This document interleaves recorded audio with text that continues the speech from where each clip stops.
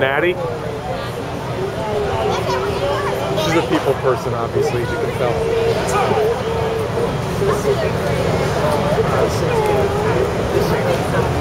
Well, I've been watching it for like, I've been in the bar for three hours. It was just out that one window in the front earlier. Yeah, we walked by, sure. Uh, I'm sending this video to my friend. She lives in that building right there. Oh my god. So she's in Vermont. She doesn't even have any clue what's going on. Oh. Do you know anybody I hope they got everybody out.